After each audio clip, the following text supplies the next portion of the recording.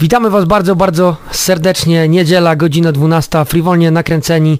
Dzisiaj w studio razem z Wami Marcin Kruk, a ze mną mój gość specjalny. Gosia Szum. Gosiu, witam Cię bardzo, bardzo serdecznie. Bardzo się cieszę, że zaszczyciłaś swoją obecnością. No i teraz... Ja bardzo dziękuję za zaproszenie. Proszę uprzejmie. Teraz szybkie, krótkie wyjaśnienie, skąd tutaj wizyta Gosi. Dlatego, że jest rodowitą lublinianką, ale nie mieszka tutaj od dłuższego czasu, a mieszkała w wielu fantastycznych miejscach i właśnie chciałbym, żeby o tych miejscach nam trochę dzisiaj poopowiadała. Więc Gosia, od razu pytanie do ciebie, bo ty wyjechałaś z Lublina w momencie, kiedy szłaś na studia i teraz jak to było, no bo już widzę, że tak powiem, czy słyszę wymówki wielu słuchaczy, że o, że ciężko na studiach, to przecież trzeba się uczyć, nie ma jak, a co z pieniędzmi w ogóle, będziemy klepać biedę, pracować na zmywaku. Jak, jak to było w rzeczywistości? No nie, nie pracowałam, nie musiałam pracować na zmywaku. Akurat w mojej sytuacji to wyglądało tak, że ja dostałam stypendium od rządu, od rządu włoskiego. E, studiowałam na Uniwersytecie Bocconi w Mediolanie, Mhm. e, także to stypendium pokrywało jakby całą opłatę za studia i również pokrywało opłatę za mieszkanie, także no jedyne co, to musiałam sobie jakoś tam załatwić środki na to, żeby e, móc tam powiedzmy żyć. Żeby móc, żeby móc imprezować. Tak, żeby Naz- móc imprezować, dokładnie. Nazwijmy rzeczy po imieniu. Tak, także tutaj bardzo pomogło mi możliwość pracowania na uniwersytecie, Mhm. także nauczyłam się dość szybko włoskiego, bo jest to język taki no dość łatwy Mhm. i to pozwoliło mu- mi też pracować gdzieś tam na weekendzie, gdzieś w jakimś barze studenckim, kawiarni i tak dalej. Czyli jednak coś z tym zmywakiem było. No nie musiałam zmywać, ale tak. Niedużo to nie... I też jakby po to, żeby powiedzmy mieć trochę może wygodniejsze życie, też móc trochę podróżować, zdecydowałam się na kredyt studencki, Mhm. który był no, na dość dobrych warunkach. Także no i ja osobiście nie pochodzę z żadnej, nie wiem, bogatej rodziny i, i jakby e, no większość studiów płaciłam sobie za wszystko sama, mniejszą pomocą rodziców, także można to sobie zorganizować. Czyli da się. Da się, tak. A w ogóle a propos samego dostania się na Bocconi, to ciężko było? Uważam, że o wiele łatwiej niż na uniwersytet w Polsce, bo wszystko odbywa się online. Tego 10 lat temu jeszcze tutaj nie było, także No tak. to było dużo papierów e, i, i jakichś dodatkowych jeszcze egzaminów i tak dalej. Tam tego nie ma. Tam to jest wszystko bardziej na podstawie ocen i to, co bardzo zwracają, e, na co bardzo zwracają uwagę za granicą, nie tylko na tym uniwersytecie, to są jakieś tam dodatkowe zajęcia, czyli co się robiło poza szkołą, jakieś, nie wiem, może akcje charytatywne, czy jak się uprawiał jakiś sport, tak na poważniej. Mhm. To jest bardzo, bardzo ważne dla nich. Nie, Czyli czyli, nie tylko oceny. Oceny ocenami, a Mm, jednak generalnie tak.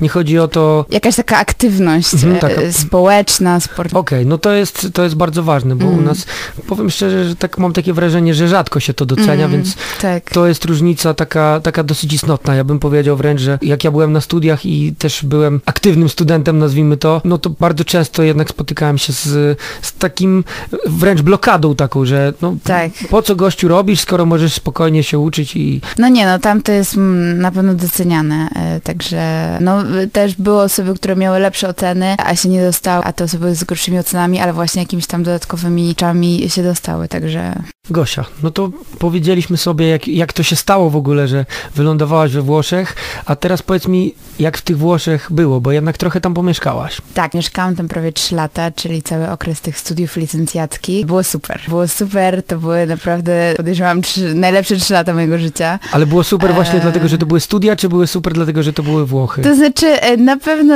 dlatego, że to były studia, a no na pewno też dlatego, że, to, że były we Włoszech, nie? Mhm. E, jednak no, studiowałam tam z ludźmi z tylu różnych krajów. E, miałam właściwie przez cały okres e, tych trzech lat mieszkałam w jednym mieszkaniu, a miałam pewnie z 20 różnych współlokatorów przez ten czas, także Mhm. non-stop e, nowi ludzie, też kilkaset osób na każdym semestrze przyjeżdżało na wymianę, także no, no non-stop po prostu poznawało się nowych ludzi. Czyli co, masz znajomych na całym świecie? Tak, można tak powiedzieć, tak. A byłaś, ty też gdzieś e, jeździłaś na wymianę, prawda? Tak, znaczy e, ja skorzystałam z możliwości zrobienia stażu Mhm. i wyjechałam na taki staż prawie czteromiesięczny do Szangaju. Aha, okej. Tak, także to też był świetny czas. Przynajmniej tam nie odróżniałaś się wyglądem od reszty obywateli. Wiem, że to... Nie, przepraszam, ja się lubię po prostu z Gosi śmiać, troszeczkę podśmiewać, że wygląda jakby była z Chin, ale wcale nie jest, przynajmniej tak twierdzi. Dobrze, ale do tych Włoch, do tych Włoch. Tak. To co w tych Włoszech było fajne a propos ich stylu życia, a propos tego w ogóle jak się zachowują, kim są i tak dalej? Tak, na początku ciężko mi się było przyzwyczaić do ich stylu życia, bo oni są po prostu tak zrelaksowani i wszystko, i tam naprawdę jest wszystko na jutro Mhm. i, i jakby oni się niczym nie przejmują. No taki, no ciężko jest się komuś tak przyzwyczaić na początku, gdzie no kto, ja bym chciała załatwić coś już i teraz Mhm. i, i mieć pewność czegoś, a oni nie, to wszystko jest bezproblemowo i także e, no pierwsze miesiące to było takie przyzwyczajanie się do, tych ich, do ich kultury. No na pewno są tacy strasznie, e, tacy no pozytywni. Oni nawet jak coś się stanie, e, coś się im źle dzieje w życiu, to oni tak pozytywnie do tego podchodzą. Mhm. Oni się tym nie załamują, nie zaczynają narzekać, tylko tak, ale ich, ich życie się toczy, problemami to się zajmą jutro, czyli pojutrze. Aha. Także tak naprawdę taka pozytywna energia, nie? Mhm. A ta ekspresyjność jest? Bo Tak, jest, jest. Tam naprawdę na początku nie, no nie mówiłam po włosku i, i naprawdę z każdym się można dogadać właśnie jakoś rękoma tutaj.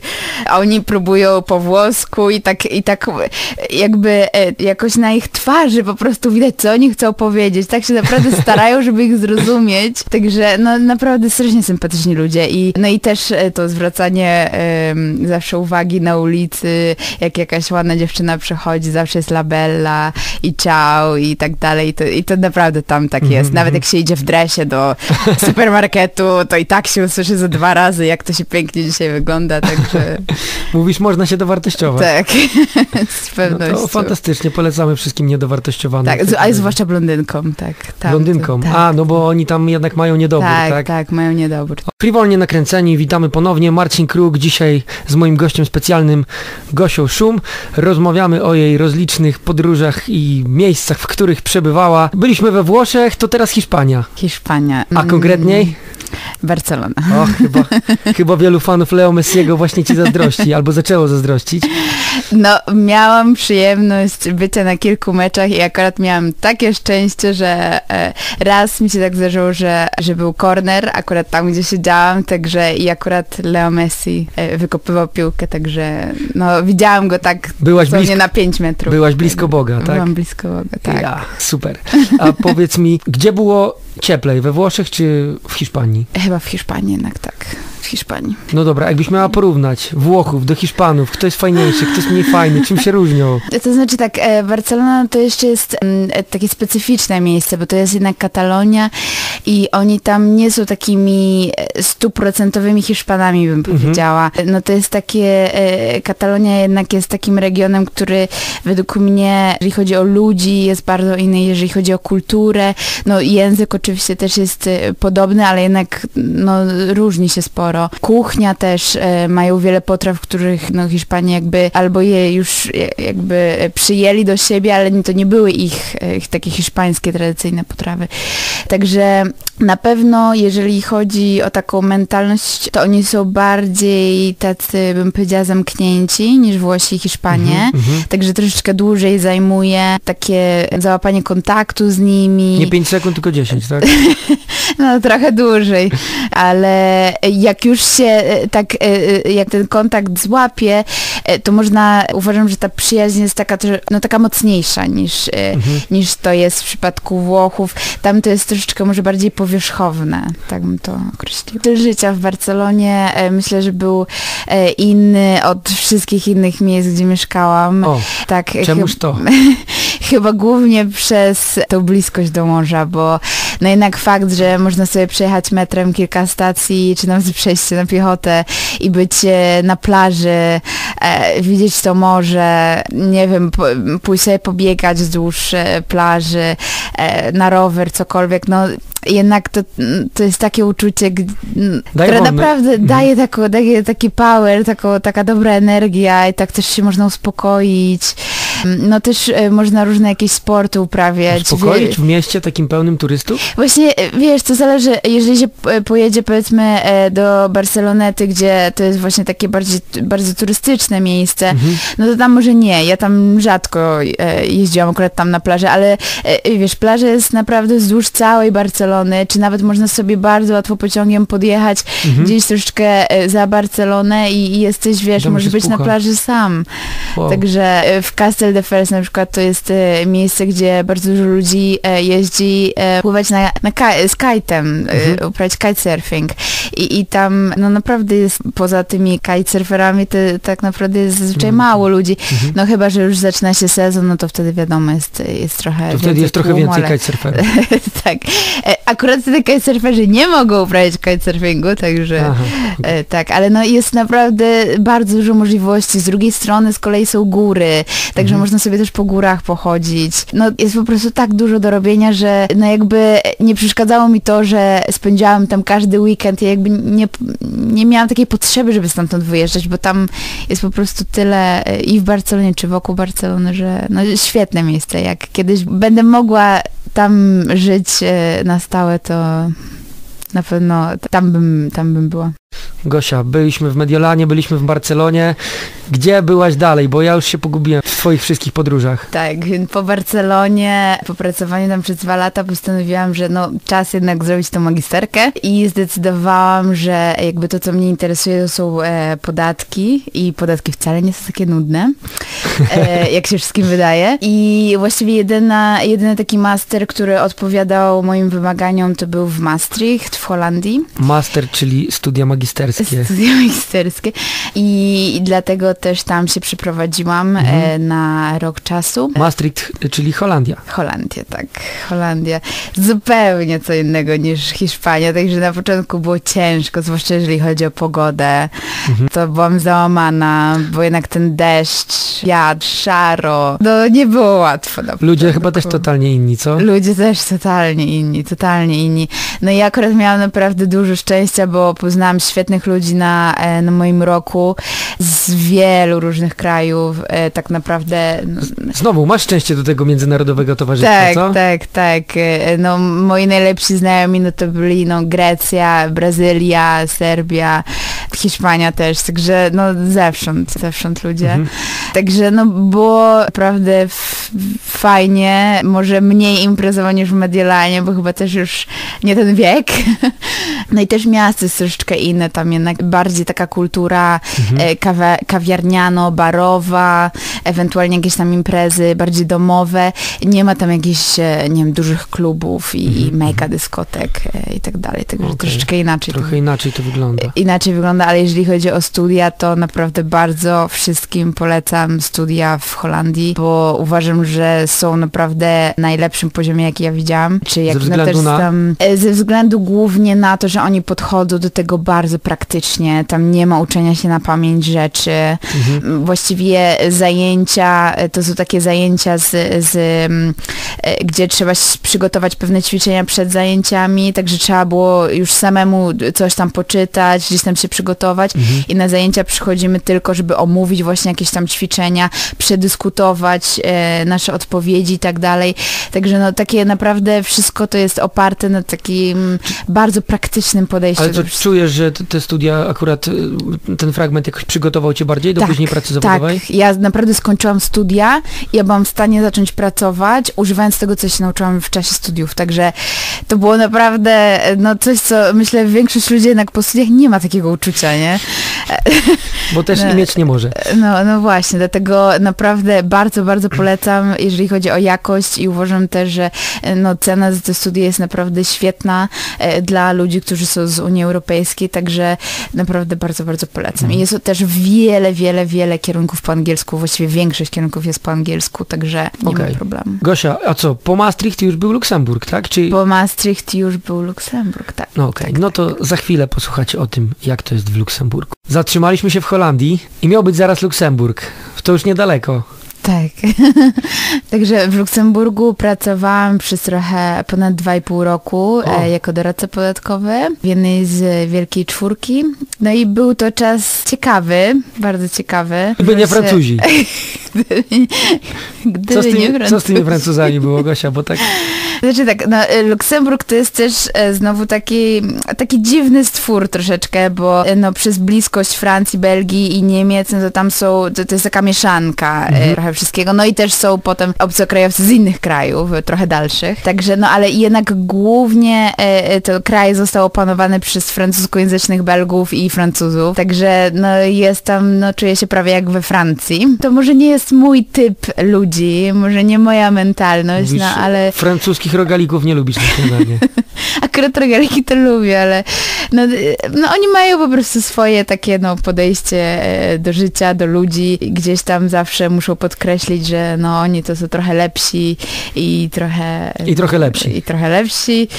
Także no bardzo ciężko jest z nimi nawiązać jakieś takie bardziej koleżeńskie czy przyjacielskie kontakty. Zwłaszcza jeżeli nie mówi się po francusku. Jeżeli oni mówią po angielsku, to niechętnie go używają. Także oni też jakby są trochę sobie winni, że właśnie no obcokrajowcy jakby no to nimi nie przypadają. Także tak, ale poza tym no naprawdę jeszcze- świetne miejsce. Co jeszcze ciekawego życia. a propos Luks Luksemburga, bo to jest chyba tak, że okej, o Włoszech dużo ludzi było, coś wie, Mm, o Hiszpanii tak samo, o Holandii może trochę mniej ludzi było, ale jakieś tam mm, ogólne pojęcie ludzie Mm. mają, czy jakieś stereotypy są, a Luksemburg w zasadzie taka troszkę zagadka. Tak, no to jest e, kraj, a właściwie to miasto, bo wszystko jest e, wokół Luksemburga, gdzie no jakby on głównie operuje na tym sektorze finansowym, także tam jest wiele banków, wiele funduszy, no i, i na pewno na tych, by, na tym, że te zasady podatkowe są tam no takie e, Korzystne. e, korzystne, nazwijmy to korzystne. Także, no i też jest sporo instytucji Unii Europejskiej, także ludzie żyją tam bardzo dobrze. Jest tam taki komfort, e, właściwie nie trzeba się za bardzo niczym przejmować. E, Wszystko funkcjonuje tak, jak powinno funkcjonować, bo no jest to mały kraj, także łatwo jest to wszystko ogarnąć, Aha. jeżeli chodzi o właśnie jakiś tam e, system zdrowia, czy takie administracyjne sprawy, no to są bardzo łatwo do rozwiązania. Także no na pewno można sobie na, na sporo pozwolić pracując tam. Mhm. No taki kraj, no tylko no niestety zbyt wiele to może tam się nie dzieje. Także Mhm. dla ludzi młodych, no to często oni właśnie przyjeżdżają, po dwóch, trzech latach wyjeżdżają, no bo jednak gdzieś tam zaczyna się wdzierać nuda. No, Popracują, popracują i wystarczy. Tak? tak, także no my staraliśmy sobie zawsze tam organizować jakieś wycieczki, bo jednak to jest pośrodku Europy, także łatwo sobie gdzieś tam jeździć, e, też można bardzo łatwo stamtąd latać, także Mhm. no można sobie to zorganizować na pewno w interesujący sposób. Dobra, Gosia, to podsumujmy. Ile już cię nie ma w Polsce? Teraz we wrześniu e, będzie dziesięciolecie. Wow, czyli tak, trzy lata w Mediolanie, tak? Tak, Dwa w Barcelonie? tak, jeszcze rok byłam w Londynie przez trochę A. czasu, Okej. tak, jeszcze te Chiny, potem tak Holandia i Luksemburg. Dobra, no to super. To jeszcze za chwilę pogadamy o tym, jak w takim razie z perspektywy takiego globtrotera wygląda, wygląda Polska. Wolnie nakręceni, Marcin Kruk, ze mną gość specjalny, Gosia Szum. Gosia, pogadaliśmy o tych wszystkich krajach i teraz jesteśmy sobie w Polsce, jesteśmy w Lublinie, z którego pochodzisz i teraz z perspektywy kogoś, kto właśnie przejechał no, kawałek Europy, jakby nie było i to nie na zasadzie o tu trzy dni, tam trzy dni, tylko na zasadzie naprawdę być, pomieszkać, zobaczyć jak to wszystko wygląda. I jak ta Polska, jak ten Lublin dla Ciebie wygląda? Co tu jest fajnego w porównaniu do innych miejsc? Czego tu nie ma? Co jest? To znaczy, pierwsze to bardzo się Polska zmieniła przez ostatnie 10 lat. Polska i Lublin również. Od takich rzeczy bardziej może wyglądowych, oczywiście, do, do nawet takich rzeczy bardziej mentalność ludzi. Myślisz, e, że otwieramy się bardziej? Tak, tak, jestem pewna. E, Ludzie są o wiele bardziej otwarci, coraz więcej ludzi, no ta młodzież wreszcie zaczyna tutaj powiedzmy bardziej rządzić, a ludzie młodzi no mówią po angielsku, jakby są bardzo otwarci do obcokrajowców, no bo e, też by wielu z moich znajomych mnie tu odwiedzało i no wiem jak to było kilka lat temu, A jeszcze na, teraz? na studiach, a jak jest teraz I, i widzę, że jest właśnie takie większe zainteresowanie tymi obcokrajowcami, takie właśnie większa otwartość, tak, no tak pozytywnie mi się wydaje. Mhm, mhm. A I- Co jest w Lublinie czy w Polsce, czego nie ma nigdzie indziej, oprócz pierogów? Oprócz, a właściwie miałam powiedzieć pierogi, widzisz. to znaczy ogólnie na pewno uważam, że jedzenie. Takie wiesz, takie proste, domowe jedzenie z sercem. Swojskie obiadki. Tak, takie O, swojskie właśnie. Tego Wiesz, nie takie... Nie, tam to jest troszeczkę bardziej jakieś takie wszystko, wiesz... No nie, no takie... Włosi też mają bardzo dobrą kuchnię. Nie, nie, nie, to nie o to chodzi, że ona nie jest Aha. dobra. Włoska kuchnia, tak samo hiszpańska e, czy francuska to są bardzo dobre kuchnie. To, e, tylko one są takie bardziej wyelaborowane, jakby to powiedzieć. Nie Mhm. takie, wiesz, proste, dobre, duża porcja dobrego jedzenia, wiesz. Także no na przykład mój chłopak uwielbia tutaj przyjeżdżać właśnie głównie przez to jedzenie. Tak, może jest Niemcem, to powiedzmy. Mimo, że jest Może Niemcem i jest wegetarianinem, e, bo w Polsce ludziom się wydaje, że jak ktoś jest wegetarianinem, to tutaj chyba za bardzo nie ma co jeść. A tutaj właśnie jest wiele rzeczy, które można jeść. Mhm. Także i myślę, że to się coraz bardziej jeszcze rozwija. Dobra, Gosia, ostatnie pytanie, bo czas nam się kończy pomalutku. Tak chciałbym się ciebie zapytać o taką, nie wiem, taką twoją trochę, nie wiem, tożsamość, widzisz w sobie te, że tak powiem, to widzisz, że na przykład wychodzą z ciebie jakieś rzeczy, które nabyłaś jako człowiek, będąc we Włoszech, w sensie charakteru takim, że a to mam z Włoch, a to mam z Hiszpanii, a to mam skądś tam, czy, czy raczej nie? Późnianie się tą z Włoch, Tak, i tej wersji się trzymajmy, tak? to chyba stamtąd. To znaczy na pewno jeżeli chodzi o jakiś, jakąś moją tożsamość, to na pewno zaczerpnęłam różnych rzeczy z różnych miejsc e, i na pewno, znaczy no myślę, że nie mam takiej typowej mentalności dla właściwie żadnego kraju, ani, ani nie wiem, czy dla Polski, czy dla Hiszpanii, czy dla Włoch, tylko po trochę, po trochu wszystkiego. E, Także no miałam takie, powiem ci, nawet przemyślenia i to niedawno, właśnie skąd ja tak naprawdę jestem, bo Mhm. nawet zaczęłam się zastanawiać, czy ja tak naprawdę czuję się, e, wiesz, czy, ja, czy jestem wystarczająco z Polski, czy ja się czuję wystarczająco z Polski. Zaczęłam sobie myśleć, że może no, no gdzieś tam jakby zatracam tą polskość w sobie. I wtedy zaczęłam czuć, że właśnie powinnam chyba jednak e, jakby starać się to bardziej kultywować, może wracać trochę częściej do domu, jakoś e, bliżej być z rodziną, czy jakoś bardziej kultywować te tradycje, no bo zapewne będę z kimś, kto no nie jest z Polski, także no i będę miała dzieci, które no będą właściwie połową e, z Polski, a drugą połową nie, także gdzieś tam no chciałabym im to przekazać, takie właśnie tradycyjne No rzeczy, język, kulturę i tak dalej, a jak ja tego sama nie będę miała w sobie, no to ciężko, e, Ciężko będzie, przekazać. także no na pewno gdzieś tam teraz staram się właśnie nad tym tak bardziej świadomie pracować i gdzie wcześniej, no jeszcze może jak byłam młodsza, no to myślałam, że to jest takie bardziej, wiesz, cool, być Mhm. takim, wiesz, takim, takim z Europy, czy ze świata, jak to Aha, niektórzy aha. mówią, nie? Że są obywatelami świata. Ale, ale jednak teraz e, właśnie myślę, że bardziej zależy mi w tym takim kultywowaniu tego, że jestem jednak z Polski. Super. Dziękuję ci bardzo w takim razie za rozmowę. Ja dziękuję bardzo i pozdrawiam wszystkich słuchaczy. A my się słyszymy za tydzień już o 12 frywolnie nakręceni. Marcin Kruk, I Gosia Szum. dzięki. Dziękujemy.